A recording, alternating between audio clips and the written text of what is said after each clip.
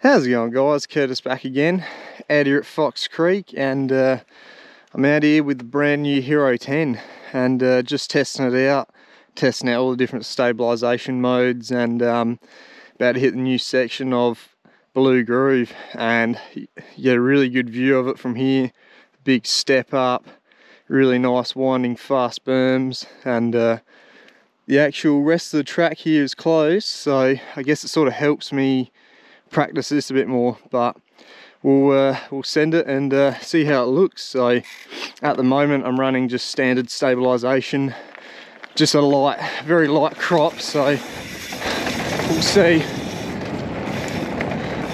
See how we go.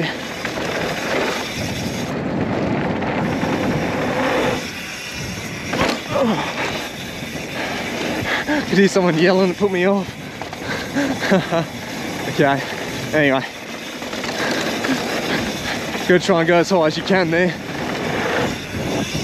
Oh yeah, oh yeah. Just had a tiny bit of rain here, so this is running killer. It's actually quicker than last time. Oh, the G-forces around that.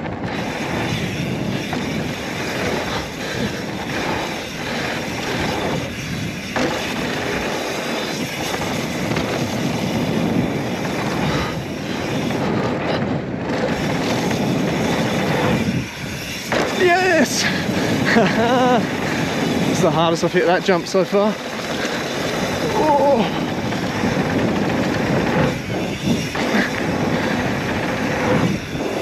Huge! Okay, that's the first clip with the GoPro Hero 10 and comparing it to my old Hero 4, the first thing I notice is the colours look amazing and the stabilization really makes the footage easier to watch.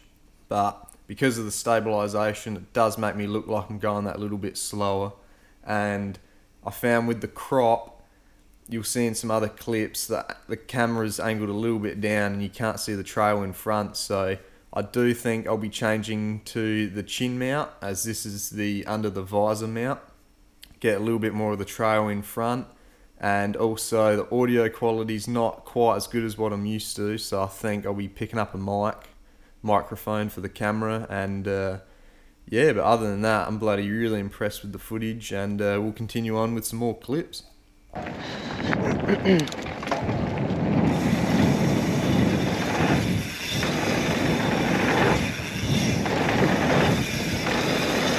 Oh,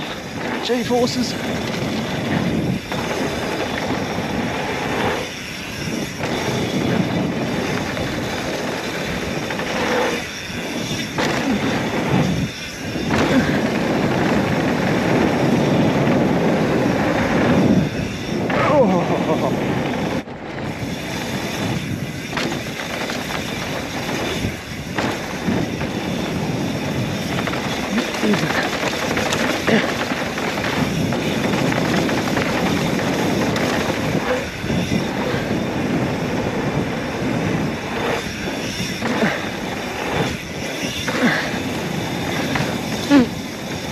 I've almost got him on my mouth.